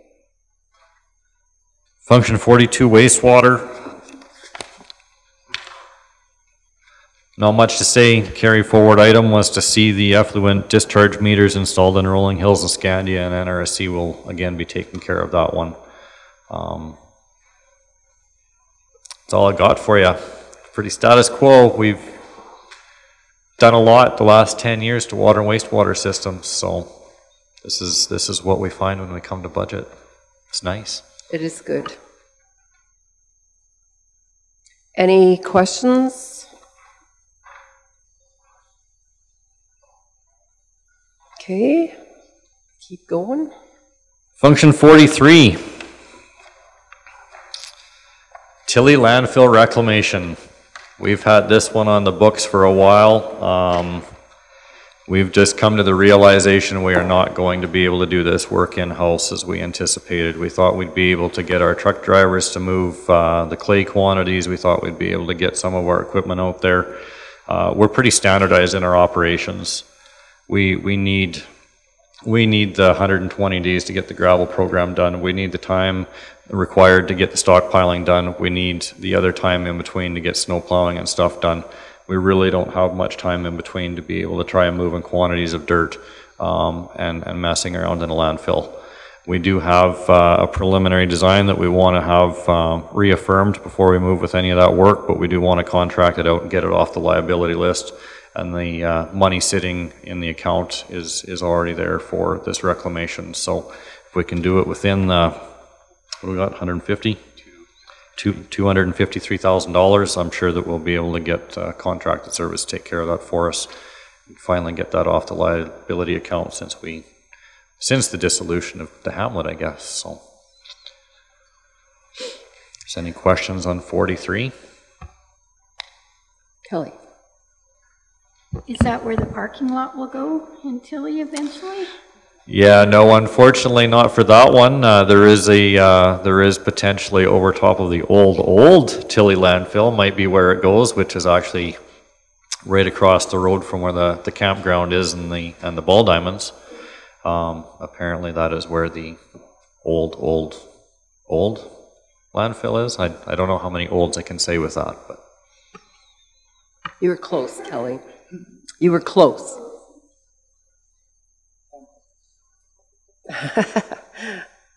All right. That's it? No, we have one more, uh, new to falling under the umbrella for myself would be the planning and development function. Uh, council already knows what transpired earlier this year with, uh, planning services.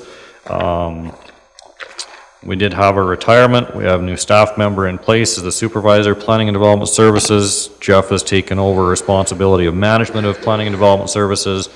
We will be looking at everything moving throughout the next 12 months um, to see what needs to happen in that department. Uh, There may be op- opportunities where we just get some more coaching and develop the understanding within our own staff that maybe we have the ability to do a little bit more in-house than what we've contracted in the past. But as of right now, we're looking at maintaining status quo. And uh, if things change, hopefully it's at less uh, contracted service in the future, but um, we're status quo as it sits. Kevin? Madam Reeve, just want to comment, Mark, um, so the transition with Jeff is working extremely well. Um, I don't know if we're in the calm before the storm, but it's sure a breath of fresh air to have the departments functioning as one. I appreciate it. Thank you. Thank you for the comments. Anything else? Tracy? For the um, cost for um, the Alberta Safety Codes and for ORSC, is that under other general contracted services? I just, I wasn't sure. Sa- Safety codes is a line item under uh, the 2290 account. Okay, so, okay. And then ORSC is,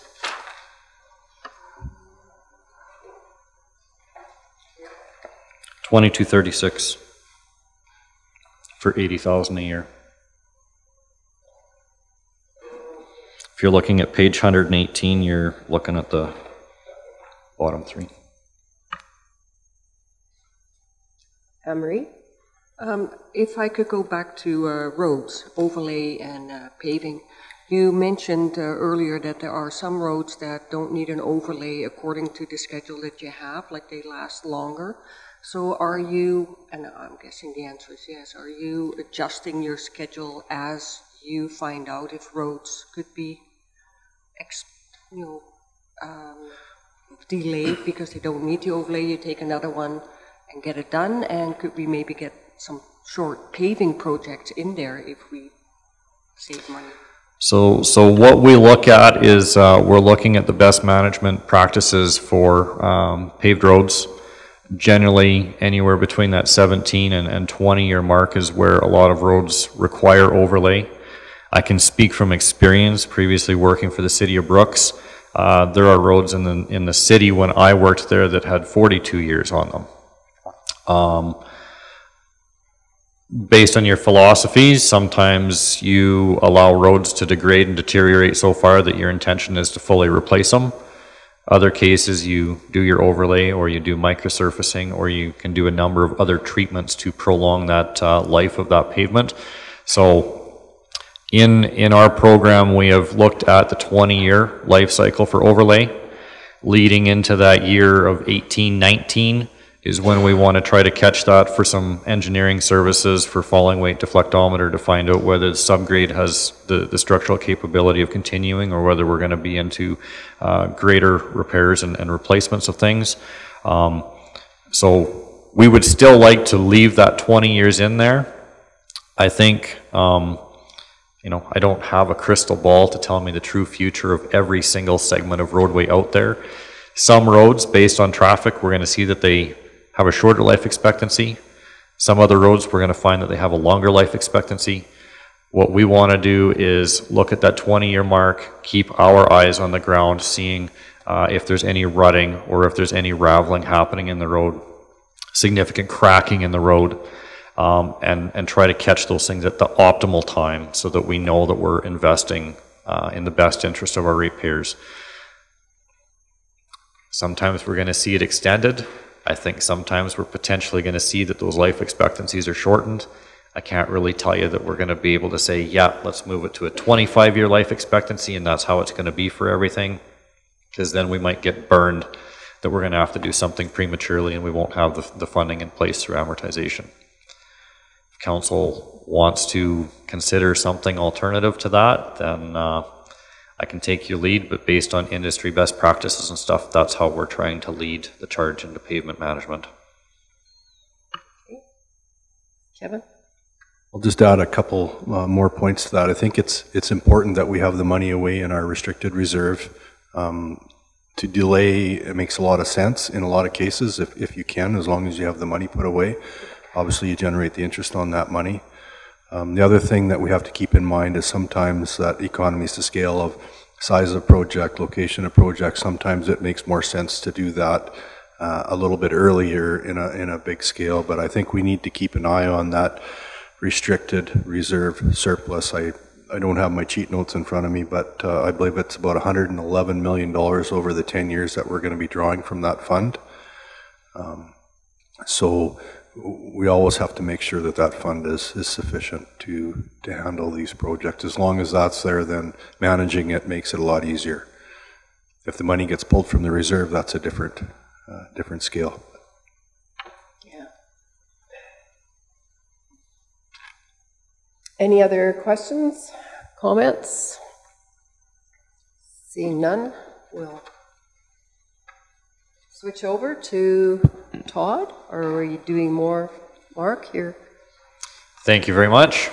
Thanks, Mark.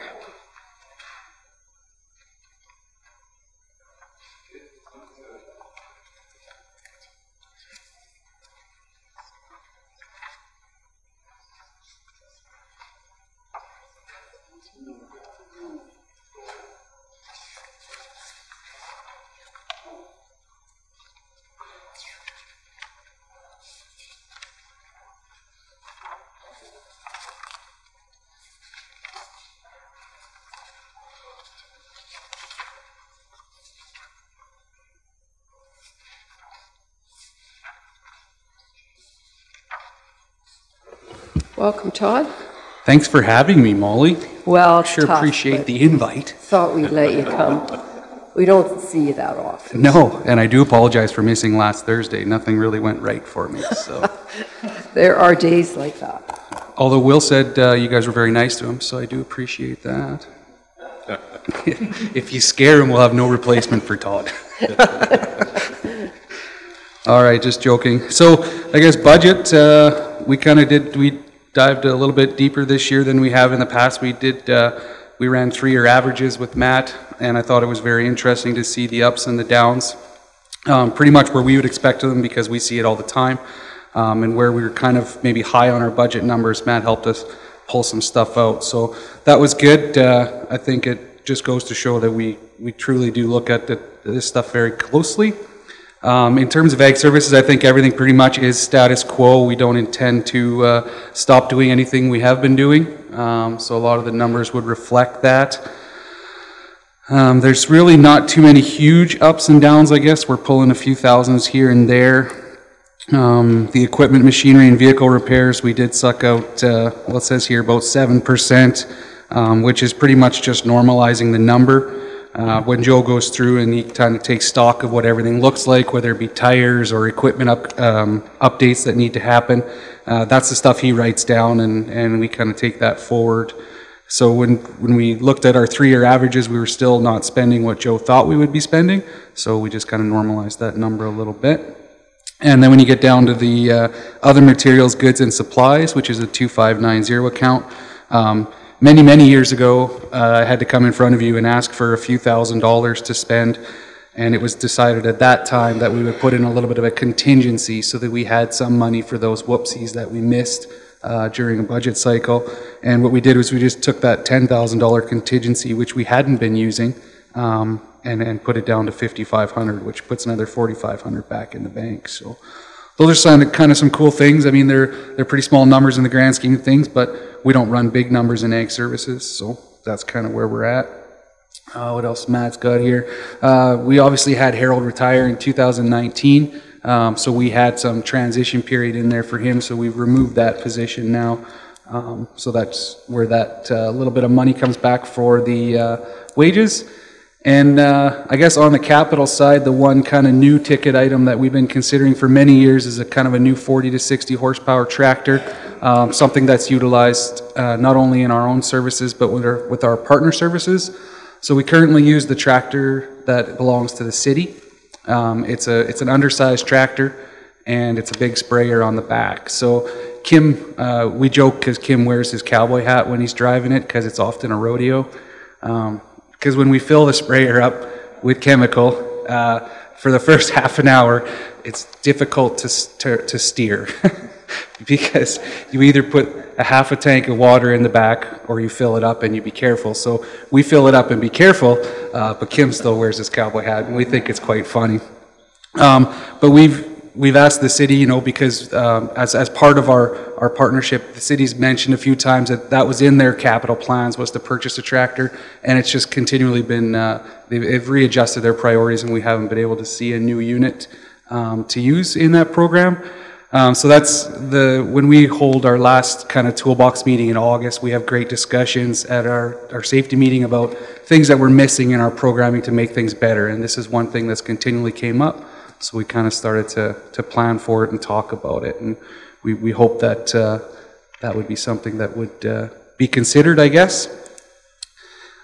Um, and then along with that would just be a, a 20 foot hooded sprayer.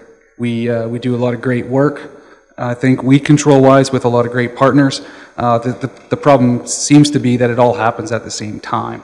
So having good equipment to be ready and available when we need it is, is quite important to us. And that's about all I had for that.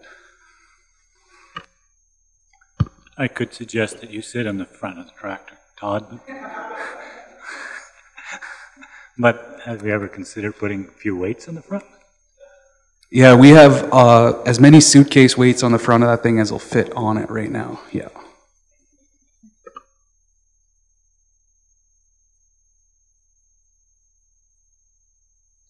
Put another tank up front there and fill it with water. Yeah. What I was uh, wondering about if you take your ag services, um, the difference between uh, your net expenditures and your income, the draw on the mill is, correct me if I'm wrong, Matt, it's about $400,000. Uh, net impact to the mill for ag services, one point, just about seven million for 2020. And the draw currently proposed is 1.2, so a little better, I think, 1.3. I'm I'm not sure which one you're looking at. I'm if I look at uh, just if you add the seven percent that were initially proposed, I guess. I'm looking oh, at okay. that difference, and what would that have? What would that have to? Uh, what percentage would that have to change in order to get closer to that, covering the cost of ag services from farmland requisition? Okay, now I'm I'm picking up on what you're laying down. And that could be for later. Like this is Yeah, maybe I'll- a discussion for later. But I just wanted to, because we because we have Todd here and we are talking ag services, and this is budget day, so I just wanted to throw that out about the consideration. Yeah, I'll, I'll get that number for you. I think we're, we were around seven, eight hundred thousand that we're, we're raising from, from ag. I could have it pretty quick here for you. Because it was in our, uh, planning meeting that we had that.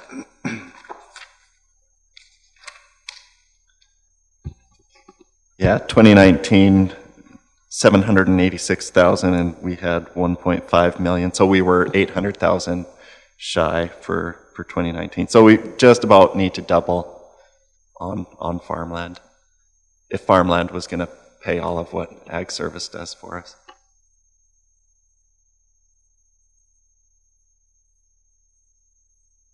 Just a question, Matt. Do you know how Lethbridge County, uh, I think their mill rate's are around 24 mills on farmland, so they must fund more than ag services with that.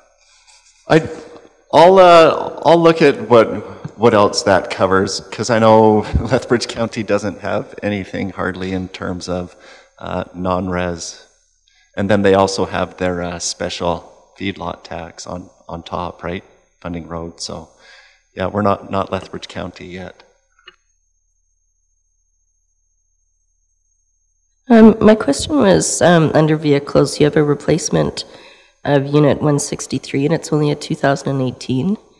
What, what is the need for a replacement? Because you've got other units that are way older, and, and it's 35,000, so just wondering. Yeah, I agree, Tracy. I just really like to drive a new vehicle every year. But that's, uh, that 163 is part of Mark's um, enterprise, enterprise agreement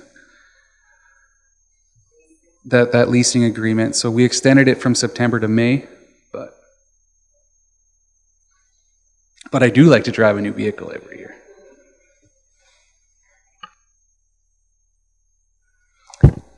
Anything else?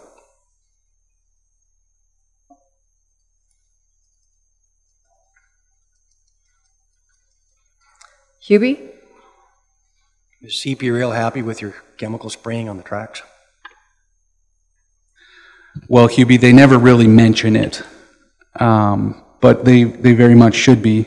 Uh, we, we have a great GPS database of every weed that we manage on their property, and, uh, and we do a good job of each and every single one of them. So if I was them looking from Ottawa, I would say, geez, that County Newell does a great job. But I don't know that they look that often. Yeah. And I'm a, speaking of vehicles for Tracy, you mentioned that we have some old ones, and 305 was uh, sitting in the shop. It was the 2005 when I first walked in, my very first morning. It was in the shop getting lights and decals put on it. And I looked at Steve and I said, Oh my God, I can't believe he bought me a new vehicle. And he laughed and he laughed and he laughed. and I never got to drive that truck for another five years. But, uh, anyways, it's going away now, and I'm kind of, it's, it's like bittersweet. It's, these things aren't supposed to happen. but, anyways, just thought that was a funny story, but it turns out not really. So, and then that new vehicle will go under the fleet, um, that, okay, good.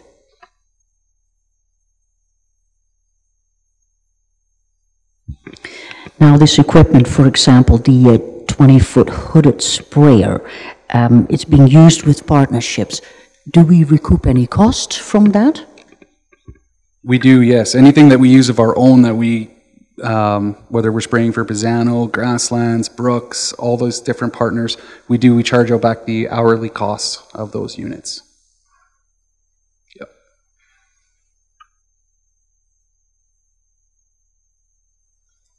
Other questions?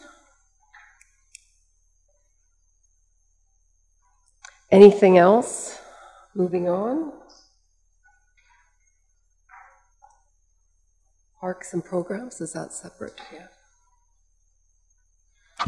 Yeah, the Parks one is 72. I'm not sure if that's, uh, you want, there's stuff between 62 and 72. Does that matter? Or do I just go ahead? You can, this is your, uh, your soapbox, Todd. You just go ahead, Todd. All Don't right, worry thank you. about that big. Well, but Okay. Emerson's actually pretty status quo next year. Um, almost uh, nothing really changed. Um, if you look at the numbers right now in the 2019 year to date, we look like we did an absolutely fantastic job because we're up $8,000, which we've never been in the in the pluses before. Um, but we haven't actually transferred all the um, the internal expenses back. So we'd use ag services, uh, equipment, and and uh, and labor down there, and we haven't made that transfer. But I thought I would point out that 8,000 into the good is is fantastic. Just it won't be like that for long. Um, so outside of that, I think Emerson, like I said, status quo. We got a few things to do. We uh, we created a little parking lot in the overflow, and we're gonna you know gravel it this year and, and maybe throw some parking blocks up. Um, that's kind of yeah, like I say, Emerson is just going to be Emerson. I think for a few years we don't really have any big plans. If that's okay with you guys, I mean, I'm happy to do more if we want to do more, um, but it seems like everything's running pretty good. So. Thoughts? Tracy, question?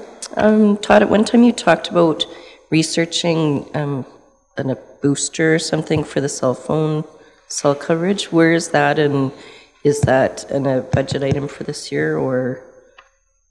Yeah, sadly, it's it's not going to be a budget item for this year unless we uh, make an adjustment or uh what do you call that? Is it adjustment? Adjustment at, at some point. Um, I haven't heard back. Uh, we've been talking to a company out of Calgary that was down to uh, to give us some feedback earlier this summer. Um, they did make some suggestions that we did later in the season, um, but we we don't know if there's anything better yet. They just haven't given us those numbers. So.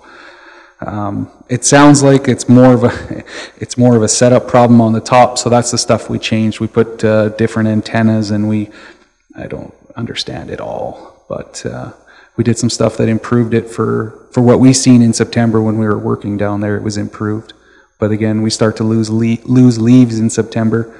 Um, and that's typically what they say is our problem is we have these wonderful big trees that block the signal. So I don't know. It seems like it works in May and it doesn't work in June and July, and then it kind of starts again in August and September. So it's um, it's a pain for sure. But yeah, I'll, I'll definitely keep you updated if if we get some uh, really genius ideas for sure. Todd, I know it's a, uh, been a safety concern of ours with, for staff, but what do the, uh, I mean, some people would be happy that there's no cell service, others would be terrified to live without cell service. Yeah, it's odd because we don't actually hear much about the cell service. It's the data more that they're not allowed to use or not able to use the okay. internet. Um, a lot of communication is via text. We all know that, and that's you know through iMessaging or whatever it is, data, um, emails or or on-call apps and things like that. Um, they're not functioning, and that's more of the problem than making phone calls. Um, but yeah, we it's uh, it's six of one, half dozen of the other. I like when I go down there and can't receive a phone call. I think that's fantastic. I get some quality family time. My wife's not on the Facebook. It's fantastic. Uh, but not everybody is the same as me, so that's and that's okay. Um, we we took a drive down to Dinosaur Park. I probably told you guys this. They put in a very extensive program uh, down there for for internet service, but almost nothing for cell service except to their staff housing. So it's uh, it seems like that the the internet service is more important than the cell is actually, and we Hmm. kind of piggyback them. So Interesting. All right, any other questions? Otherwise, that uh, finishes off Todd's portion. Thanks, Todd. Oh, something else? Okay, we we do touch a little bit of the 12 administration account with uh, facility stuff, and Matt just wondered if I could uh, Sure. chat about the automated east gate. Um, that's something that's been brought up by uh, by the municipal services crew. They're primarily the ones that go in and out of that gate. Um, currently, it's a really it was it was maybe an oversight when we first um, put that fence structure in. Um, we we didn't. I guess when we built this facility, we didn't know we were going to need all this extra space in that east yard. Um, and then we quickly realized that we didn't have enough space in our compound for things like culverts and posts and the random stuff. Um, so that's when we uh, did that east yard. Um, then, of course, when you have all that nice, wonderful stuff in the east yard, you need to have some means of making sure that it doesn't walk away without you. Uh, because we have a wonderful inventory system here, we don't want that. Um, so we put in that gate um, and that, that short stretch of fence. The problem was we got a 30 foot chain link gate out of it, and uh, when the wind blows and uh, it opens uh, with the guys in the morning, those kinds of things. We're, we're seeing a fair amount of Joe having to repair things all the time. And apparently, it's a really heavy gate to open and shut. So they were wondering if there was a way to automate that system. Um, and so Joe did the, the research on it, and it sounds like it is very, um, it's easily attainable. It just costs money, like everything else.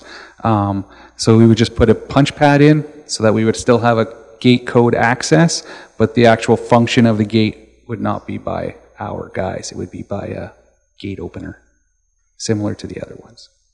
Sorry, I can't remember who asked the question. Nobody asked a question. I was just talking. My bad. Oh, sorry. Looking, uh, it's estimated about twenty-two thousand.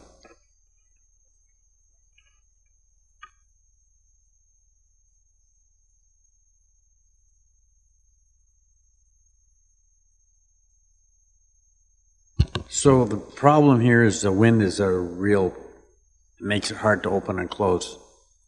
So how much estimate have, are you estimating for damages when the wind's blowing and that thing's automatically opening and closing? Because I'll bet you it's going to get damaged. Yeah, I, I don't know, Wayne. I, I don't, uh, honestly, I don't open and shut it a whole lot, uh, but it is a big old heavy gate.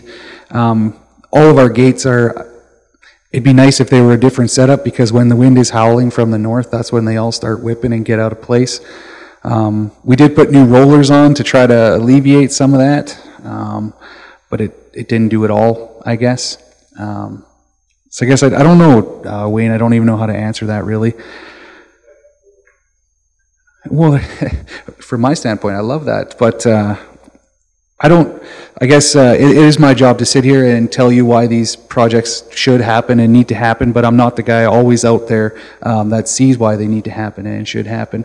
So it's hard to, but it'd be hard to get a, maybe one of our staff or, or uh, one of the truck drivers that uses it all the time to maybe come up with the best solutions here. So the concept is to prevent more damage. And I guess to make things a little um, easier on everybody, we often use a, it has, just like any other man gate or normal chain link gate, it has a little pin lock thing in there. We don't get to use that very often because the gates are always out of, out of line. Um, so we just have a normal chain that wraps around it. I guess there's maybe some security question there, but I don't, I don't know if anything's ever perfect in this kind of wind. That's wind.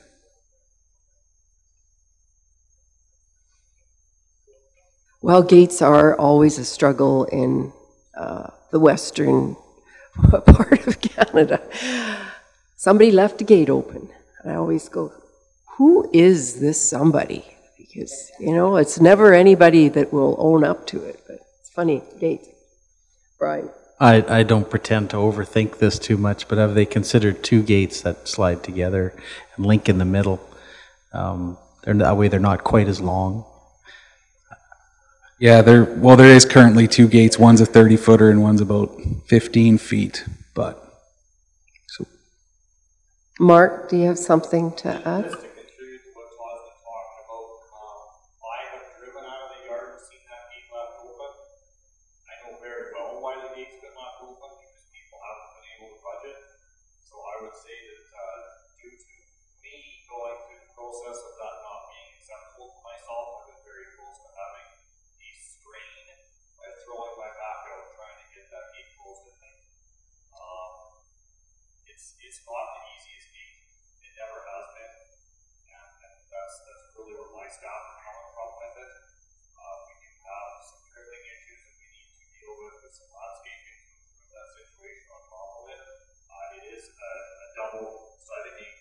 let's together.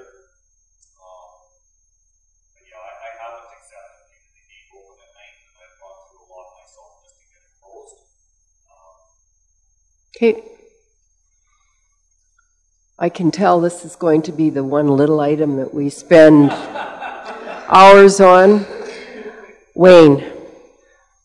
I'm thinking that maybe we should be looking at the whole gate if this thing isn't working very well. I mean, okay, maybe it'll cost more than 20, but maybe in the long run, it's the cheapest way to go is to get a better gate in there. Uh, I'm just making a comment here. From my perspective, I'm, I'm, I'm looking at the stresses and the strains on staff. You know, we, we've had WCB claims for far less in this organization than, than overexertion from opening and closing a gate. Um, these guys have to get in there sometimes at, at four o'clock in the morning for whatever piece of equipment they need to bring something else up with to, to do service response and stuff and whatnot. It's, it's not the nicest thing to deal with when it's forty-one people at work. Thank you. Okay. Ellen? Just getting back to the tractor, was that the $60,000 one? And at, at currently, we share that with, no, that was owned by the city? It is, right? Uh, The city owns an old John Deere two-wheel drive tractor, yes. So is there a consideration to uh, co-own, if you will? Or is that not a good plan? I guess we never really gave that part consideration. We were always hoping that they would purchase it and then we would just use it. Um, just never happened in their processes.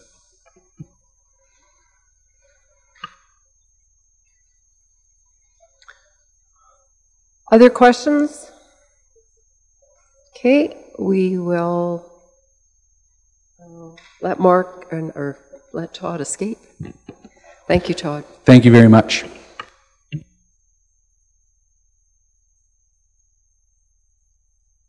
Roberta is joining us. Can we take a five-minute comfort break, please?